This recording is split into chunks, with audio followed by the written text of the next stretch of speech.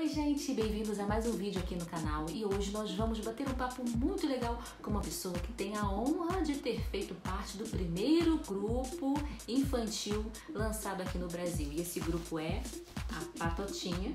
Sim, a Patotinha foi o primeiro grupo infantil lançado aqui no final dos anos 70. Nós vamos conversar com uma das integrantes que é a Kátia Romão. Aqui ela tá criança, né? Aqui também tem ela, melhor aqui pra ver, Kátia e nós vamos saber como foi a vida dela na época que ela participou do grupo, o que ela fez ao longo da vida dela e o que ela está fazendo hoje em dia. Perfume, não passe, estamos de patins. Se você nos empurra, acho que vamos cair. Te agradeço por estar aqui, por ter aceitado o meu convite. E queria saber como tudo começou na Patotinha, se você foi convidada, se fez teste, se você já conhecia as meninas, né? A a Márcia, a Mônica e a Cecília. Como foi tudo isso? Então, todas já faziam parte do, do, do meio artístico, né? Eu, eu fiz comercial para TV, eu fiz novela na TV Tupi, fiz Qual cinema. Novela? Eu fiz Éramos Seis, a primeira versão de Éramos Seis. Ah, que legal. Fiz Cinderela 77 e fiz Papai Coração. Fiz três Sim. novelas na Tupi. Fiz cinema, Aí fiz teatro, que eu fiz o Saltimbancos, a primeira versão de Saltimbancos também no teatro. Aí é, fiz teste para entrar no grupo. E foi a própria gravadora, que na época era RCA, RCA Vitor, que resolveu montar um grupo infantil, porque não existia nenhum na época. Vocês foram as pioneiras, né? Não tinha. Vocês é, foram Foi o primeiro grupo infantil do Brasil. Exatamente. Não existia. Aí a RCA tem- queria montar um grupo infantil cantando música para criança, que também não existia na época, né? Uhum. criança cantando para criança. E aí fez teste, lá na gravadora mesmo. Foi aí que a gente se conheceu. Você tinha quantos anos quando entrou no grupo? 10 para 11. E foi, as críticas foram muito positivas, né? Do- Então, porque na época foi assim, é, foi algo muito novo e que não existia no mercado. Aquilo que eu falei, era criança cantando para criança. E na época era a, a discoteca que era a moda, né? Então eles pegaram todas as cantigas de roda e colocaram as cantigas de roda em ritmo de discoteca para as crianças. Olha,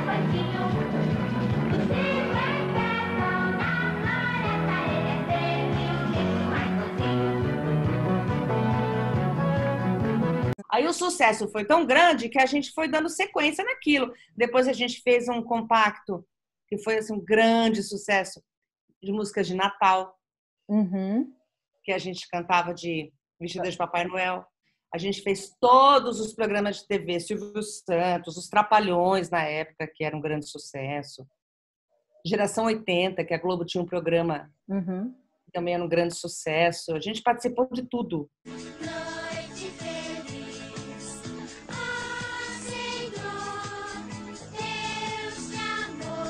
final dos anos 70, né? Que o grupo foi lançado em 78. Até esse disco aqui faz parte. Eu trouxe para ilustrar aqui o, o cenário. Pois Você é. é essa. Deixa eu ver aqui. A magrelinha que tem aí. Essa aqui de cima? Não, não é de cima. É a que tá pescando, É de exatamente. cima? Né? Eu, eu tinha achado que era essa aqui do cachorrinho. É na- Não, essa é eu acho que Cecília. Cecília. É Cecília, é. Eu tô pescando. é. em 78 vocês lançaram vários, né? Ah, olha, você sabe que a minha memória não é tão boa assim. Brincando de roda, o Aham. primeiro. Foi. Esse eu acho que foi o segundo, em férias. Acho que foi o segundo, foi. Então Aí acho que. teve o lançou Natal, mais que também foi no mesmo ano. É, que era o Aí depois, em 81, também foi lançada a seg- a segunda versão desse. Mas Você queria tá sabendo mais do que eu. é porque eu não me. É, eu sou assim, quando eu quero lembrar alguma coisa, eu chamo, eu chamo uma das meninas. A Mônica tem uma memória assim absurda, sabe? Ela, ela lembra tudo. E aí veio dos anos 80 e vocês já mudaram, já estavam mais para adolescente, né? Como Sim. é que foi essa transição? Foi difícil a escolha das músicas, vocês continuarem? Tinha, como o disco fez, os discos anteriores fizeram muito sucesso, né? Vocês ficaram ainda crianças e adolescentes com aquilo na cabeça de tem que continuar dando certo? Como é que foi essa época? Então, naquela época, ah, a gente era criança e a criança era criança, diferente de hoje. As meninas de 12 anos hoje têm uma outra energia, um outro olhar, uma outra postura. Uhum, Naquela sim. época, não. A gente, com 12 anos, a gente era criança. Então, a gente se divertia trabalhando. Aham. Porque a gente jogava de patins para lá para cá, a gente fazia programa de televisão de patins, a gente fazia show de patins. E essa música que vocês lançaram do Patins também foi assim um auge de Foi, vocês, foi né? uma regravação, né? O Não Empurre, Não Force, que foi um, um estouro, assim, arrebentou no Brasil inteiro. Então a gente fazia show de patins, programa de televisão de patins, e a gente pegou essa onda aí por um bom tempo. E foi um sucesso o Brasil afora. A gente viajou literalmente o Brasil inteiro. Até para usina de Taipu a gente foi fazer show, pra você ter uma ideia. Vieram aqui Era. para Niterói também?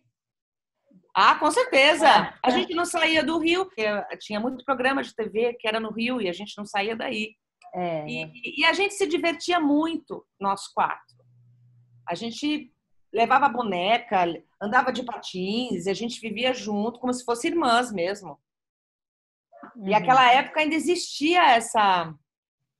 É, Não a inocência, mas essa. A, a criança era criança mesmo, diferente de hoje, né? Não, Hoje a sim, criança está muito emancipada, né? Mas nos anos 80 vocês mudaram o estilo para acompanhar a adolescência de vocês, né? Sim, eu acho que quando a gente começou a crescer, a gente já começou a, a, a ir para um outro caminho, uma coisa mais equiparada a, a Menudo na época, que foi um grande sucesso também. Era todo mundo já adolescente, Uhum. então era a, a adolescente que já tinha aquela paixão, né, por, pelo menino, pelo menino do colégio ou pelo menino que era artista.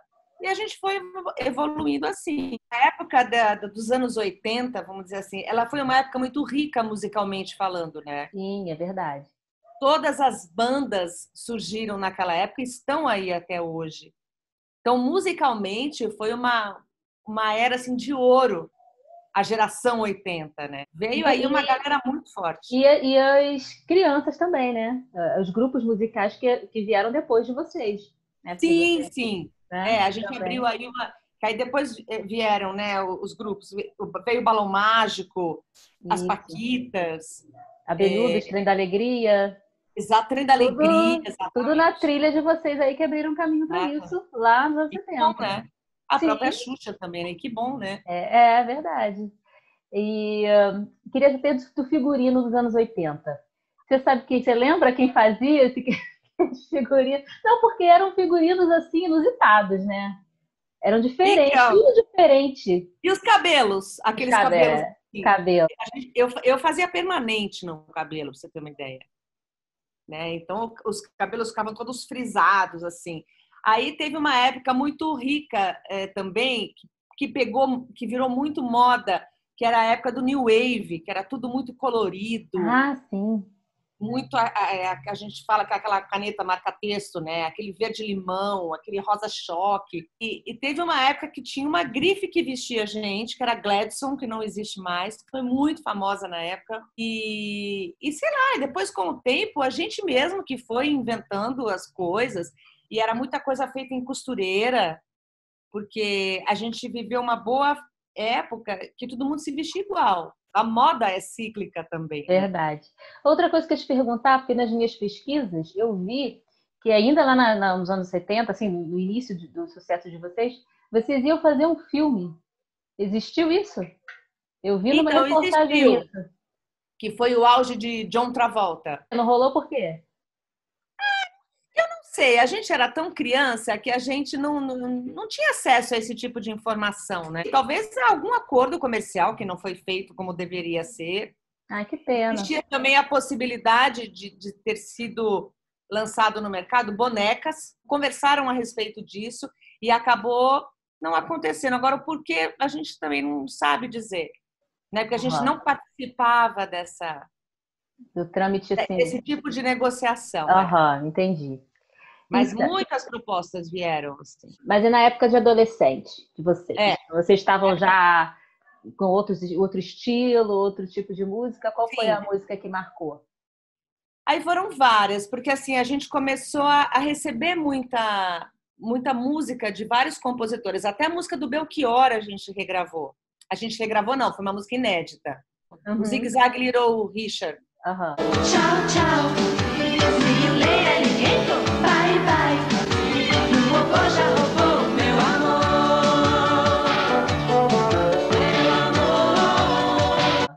E, e teve o Bobo da Corte também, que foi um grande sucesso, que era o Pega, Pega, Pega, Segura Minha Mão. A gente fez Ah, muita.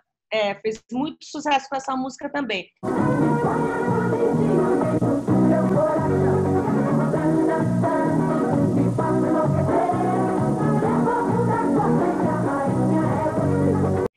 Na verdade, os compositores mandavam a famosa fitinha cassete, sabe? Que era aquela Uhum. fitinha. E a Sei. gente ia ouvindo, mas também, volto a dizer, a gente também não tinha muita participação nisso, era a própria gravadora. Ah, vocês não escolhiam nada. Nem nessa época vocês apitavam nada. Quando cresceram um Não. pouquinho. Não, a gravadora que determinava mesmo. Tanto que nós temos um disco pronto que foi gravado e não foi lançado. É Que mesmo. seria, é, que seria a patotinha em volta ah, ao mundo, dando uma volta ao mundo. E a gente gravou uma música em uma música em espanhol, uma música em inglês, uma, grandes sucessos de cada país para lançar como um LP. Aham. Só que na época eles acharam que seria um disco muito maduro para quatro crianças. Conversou-se a respeito disso e acharam melhor engavetar o trabalho. Eu acho uma pena, porque eram músicas incríveis. É, tinha música em, é, em francês. Nossa, vocês cantavam, vocês falavam francês ou aprenderam Não, nada, nada. A gente realmente estudou bastante ali para ter uma, uma pronúncia na, na hora de gravar, mas ninguém falava nada. A gente não sabia nem o que estava falando ali.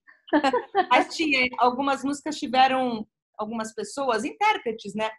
Ajudando a gente a fazer esse trabalho. Uhum. Mas ele não, não foi lançado. Poxa, que pena, né? Ser... Uma pena mesmo. É.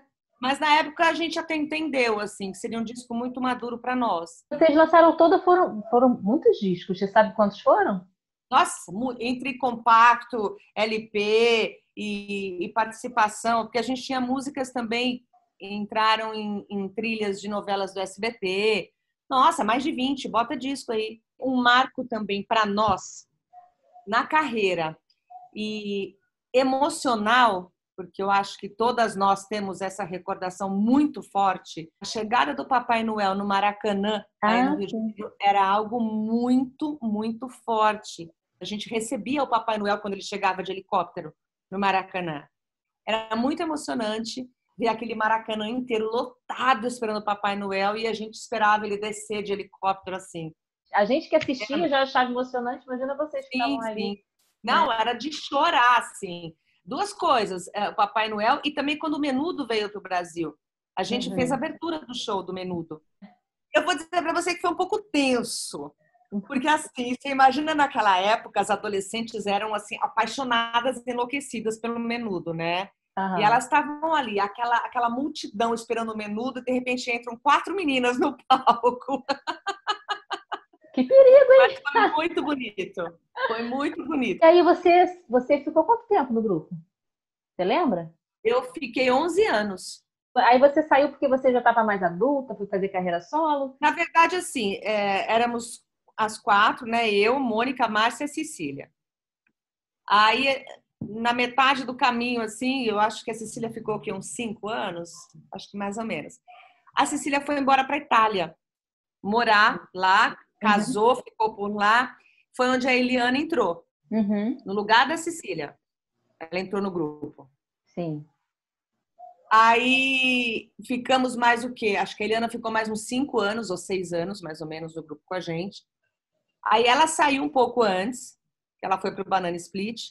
Aí logo na sequência eu saí. Por quê? Porque eu recebi na época uma proposta para gravar um disco solo. Uhum. E aí eu topei. Eu falei, eu acho que tá na hora. Já era. Não era nem adolescente mais, era mulher mesmo, né? Eu falei, então acho que tá na hora. E eu, eu topei o desafio.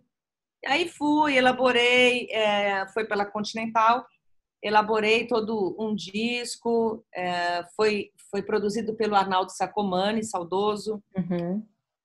E aí eu fiz o disco, enfim.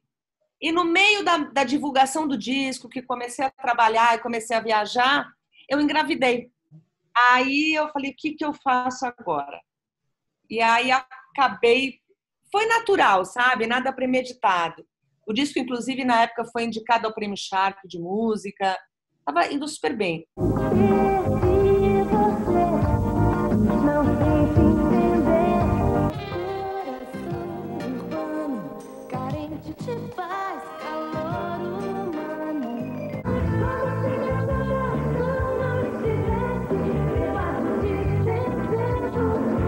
Acabei dando uma pausa na carreira e assim eu fiquei um tempo. Entendi. Até o meu primeiro filho ter, acho que, dois, três anos.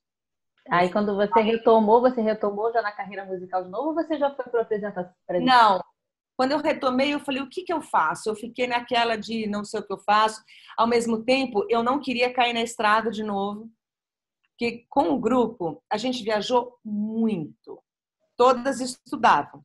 Aí Uhum. chegava sexta-feira, a gente à tarde ia para a estrada e fazia show sexta, sábado, domingo. Voltava no domingo de madrugada, voltava para cá. Segunda-feira eu muitas vezes cheguei de viagem e fui para a escola sem dormir. Assim, a gente chegava de viagem, eu tomava banho e ia para o colégio. Uhum. E a mesma coisa. Aí durante a semana sempre tinha gravação, programa para fazer, alguma coisa, entrevista, rádio. Aí chegava sexta-feira de novo, a gente viajava, sexta, sábado, domingo. E a gente viajou muito. Quando eu resolvi retomar a carreira, eu não queria cair na estrada de novo.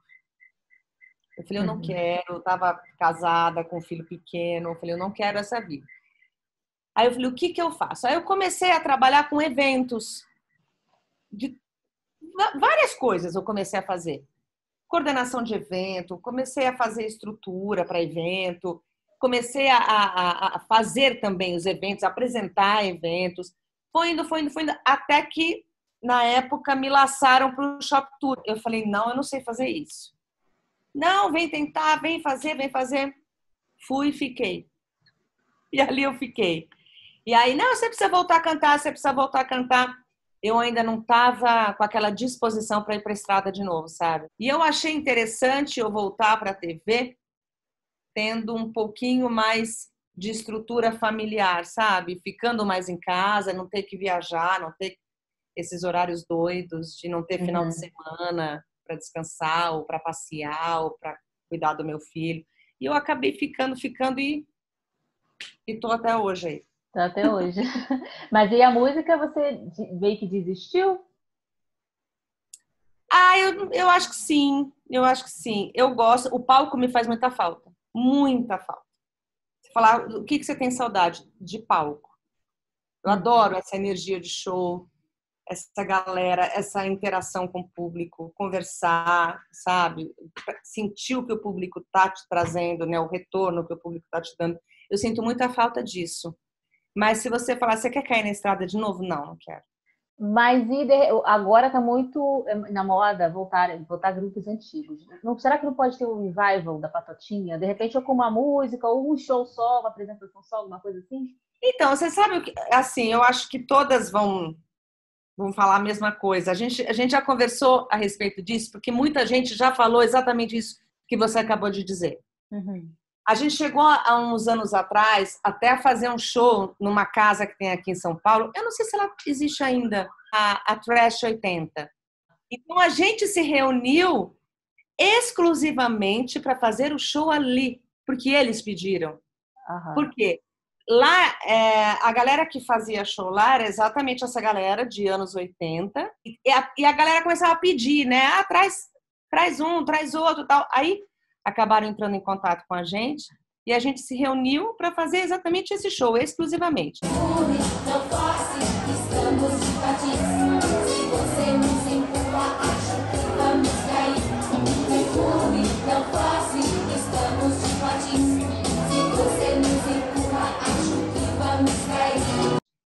Um retorno nosso, eu acho é, que todo mundo vai concordar comigo, acho muito difícil, muito complicado, porque nós éramos crianças, né? Era um público infantil e era criança cantando para criança. Como que a gente faria isso hoje? Não tem como. Uhum. É muito difícil. Você pegar adolescente e fazer hoje, ah, vamos voltar? Vamos. Vamos mudar um pouco o estilo? Ok, até dá para encaixar. Mas criança encaixar para. Bom, todo mundo é mãe. A Márcia é vó. a Márcia já tem neta. Então fica uma coisa meio engraçada. A gente ri disso, inclusive. Aham. A gente se diverte com isso, mas não tem como. E todo mundo, cada assim, hoje, cada uma tomou um rumo diferente, sabe? A, a Mônica é dubladora hoje, profissional, dubladora e diretora, inclusive. A Cecília voltou da Itália, mas hoje ela é tradutora e intérprete. Ela mudou completamente, né, o caminho dela. A Márcia se especializou em estética, também que não tem nada a ver com a, com a carreira. E eu continuei, acho que quem continuou um pouco no meio, eu e a Mônica só. Aham, entendi. E depois a Eliana que tá na TV, né? Aham. Ah, que pena, que pena que não vai ter tem revival de vocês. Eu falo que a gente poderia colocar os filhos, né? Pra... É, você tem dois filhos hoje, né? Então, mas eu tenho dois meninos, né? Tenho dois. Mas eles não têm aptidão para carreira Não. artística, nada? O meu mais velho, não. O meu mais velho tá com 27 anos e já tem a- o trabalho dele, nada a ver. O meu mais novo, que tem 12 anos, não sei, né? Vamos ver o que, que, que o futuro vai dizer ali. De repente, né? Você apresenta qual programa hoje lá na TV Gazeta? Então, hoje eu, hoje eu sou contratada da TV Gazeta. Eu apresento o Gazeta Shopping, Uhum. que também é um programa de variedades, mas é um programa ligado à venda. Ah, sim. Diário? É diário, é de domingo a domingo, E quem não tem, que no meu caso, só pelo YouTube. só no canal do YouTube. É. É o quê? TV Gazeta? O nome do canal é, né? Gazeta Shopping. Gazeta Shop.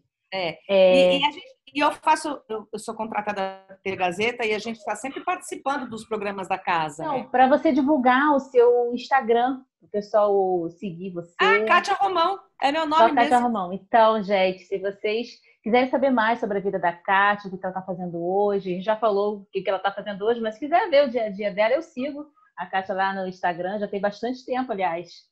Ó, e tem o Instagram da Patotinha mesmo. Tem, também sigo, a Patotinha 80. Ah! Vou colocar às vezes aqui. Também sigo, adoro. É, eu não sei se é Edson, rapaz, que faz, agora esqueci o nome. Emerson. Emerson. Então, e- o Emerson é um grande fã que a gente tem. É, eu sei. Ele tem um acervo nosso que nenhuma de nós tem. É, É você mesmo. falou que não vai ter revival, mas você quer cantar alguma coisinha pra gente? Pra gente relembrar Ai, gente, do, do grupo. Sabe o que que a gente podia fazer? Marcar um Zoom com todo mundo. Sim, com certeza. Seria ótimo. As meninas fazem uma boa.